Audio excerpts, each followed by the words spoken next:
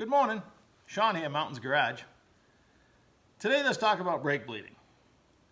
And I've shot the intro to this video a few times because I'm trying to keep it simple, because it is. So let's start with a few concepts. One, if I'm working downstream of the master cylinder, and this is already installed and bled on the car, my goal is to keep this full. So for instance on the Nova, I'm going to change the front calipers and front hoses. I'm going to make sure this is full because it's currently working. Everything's fine in that area.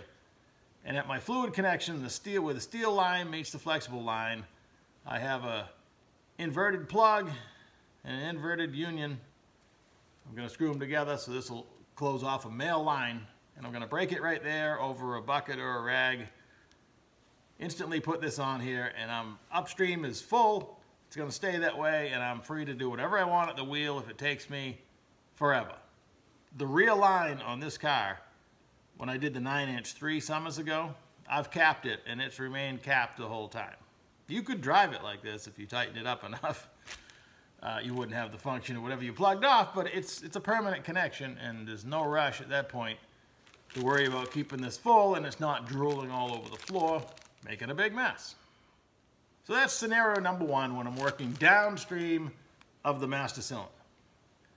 Now, let's talk about changing the master cylinder. Now, I see this a lot. People will go ahead and bench bleed the master. That's when you take lines and connect them back into the fluid, put it in the vise, and push on the plunger a few times until bubbles stop coming out in your fluid.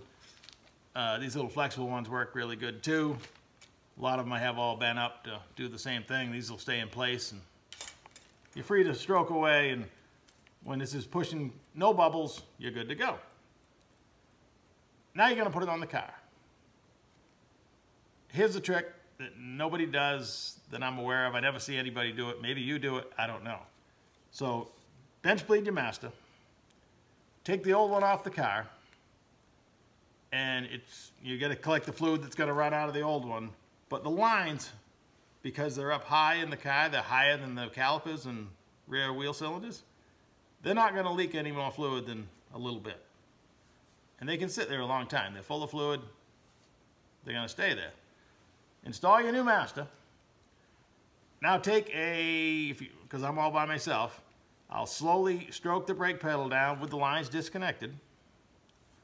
And I'll put a stick or something to hold it all the way down. And then I'll connect my fluid connections with the brake pedal depressed. And when I let go, it's going to pull what little bit of air might exist between this and the line back up into the master, and you don't have to touch the wheels. I've done this trick a thousand times. I had a motorhome. Uh, it would sit over the wintertime, and the fluid would run out the end. So I bought a reman master cylinder. It was not fun to change. And when that thing bled out, there was no pedal. I mean, nothing. You couldn't drive this thing. There was no safety. It was a Winnebago 94 Brave, pretty scary. Never made me feel comfortable when I was towing a trailer knowing that the brake system was no safety. There's no front or rear left, nothing. So I changed out the master the first year, used the same trick I just told you. Brakes were back, ran it all year, no problem.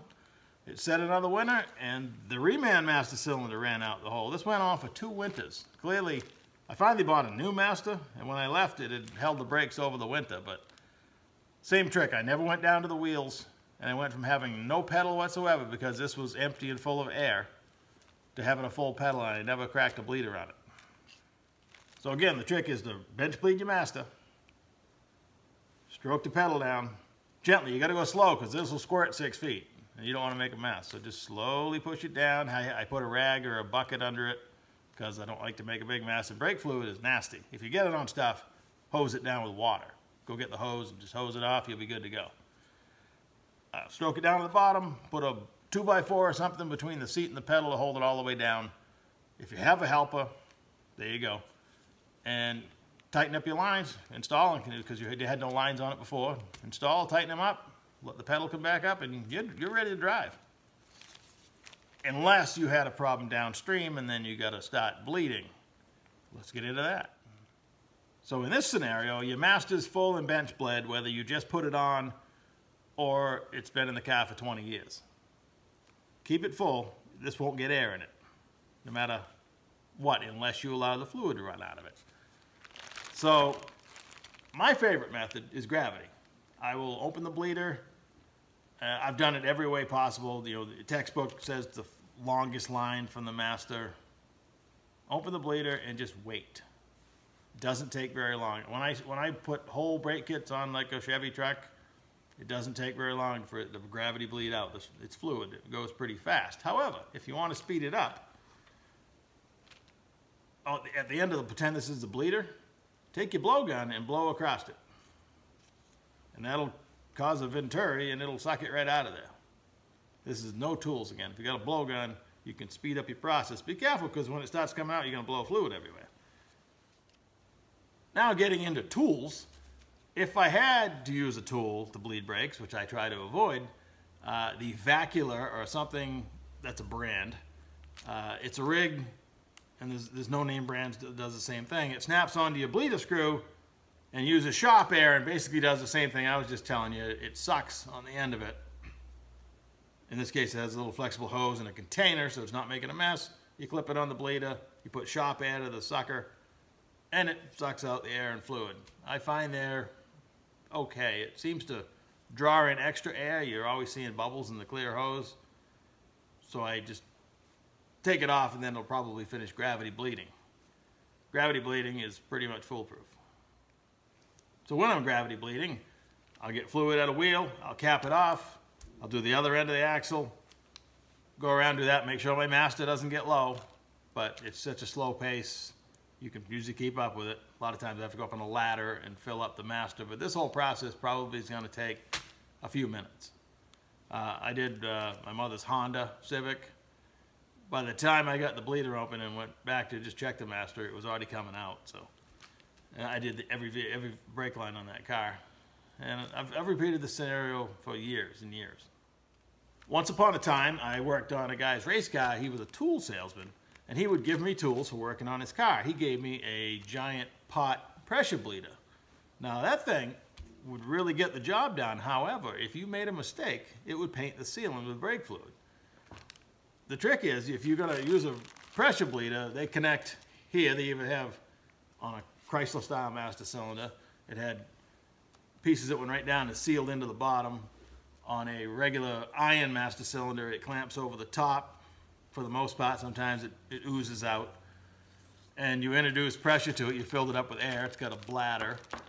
And now you've got pressure all the time here, and you go around and crack your bleeders in very spectacular fashion. It sprays fluid everywhere, and it will get your brake system bled.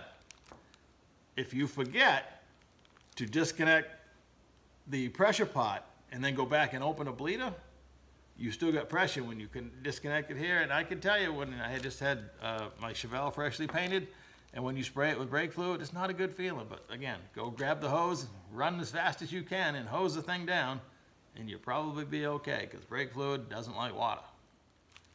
On my Model A, I have this mounted backwards between my legs down under the floor. So it is on the same level, if not below, the calipers and the rear wheel cylinders. When I go to bleed that, the front, I'll probably unbolt the calipers and hang them down to the floor and gravity bleed them. I've done this a zillion times on drag cars. And then the rear, I'll just jack the front of the car up so it's higher than the back and it'll gravity bleed out as well. Because gravity is my favorite method because I'm always by myself and it doesn't make a big mess. I keep waving this Chrysler style master cylinder. This is for an 87 Dodge van. It's my favorite. I've used this on disc disc, disc drum, always in manual, but you can run it in power. This also fits my uh, Dodge D100 84. I mean, Chrysler used pretty much the same cylinder. Different bore sizes. The smaller the bore is supposed to give you a better pedal feel than a big bore. Big bore master cylinders like inch, inch and a quarter are typically for power brakes. Uh, I find in this style master cylinder, they all feel pretty good. It doesn't rust. It's aluminum body, plastic. You, I swear you could mount it upside down and it wouldn't leak. And it's going to look like this 10 or 15 years from now where if you put a, if you buy a lot of the brake kits, you know, four-wheel disc conversion kits, power brake, they come with a iron style GM master cylinder, which works great, but brake fluid, rust. it's gonna rust either inside or outside if it gets any moisture on it. You can paint it, and the paint's gonna peel off. This, you don't need to do anything to. It's pretty-ish the way it is. Uh, this kit's to mount it on just about every firewall. You can make your own, offset it up and down, use all four holes. It's about as universal as it gets. This is my choice, and they're like brand new, 28 bucks. Uh, Strange sells the same version. They do make a nice uh, threaded connection for your master uh, cylinder push rod. Uh, if you're building custom stuff, just make sure whatever you do that the rod can't fall out. That's what the that's what it's all about. Chrysler has a little rubber band around the push rod that kind of snaps in here. Either way, I like it. It's my choice. All right, so that's pretty much it. It's not a big complicated subject, but it will make a big mess. Like everything's painted on the Nova. I don't want to get brake fluid all over it, so I'm gonna gently, I'm gonna cap my lines and I'm working on it, and then I'm gonna gently uh, let it gravity bleed out. I put a rag right next to the bleeder screw, and I got a little water in a spray bottle when I'm done.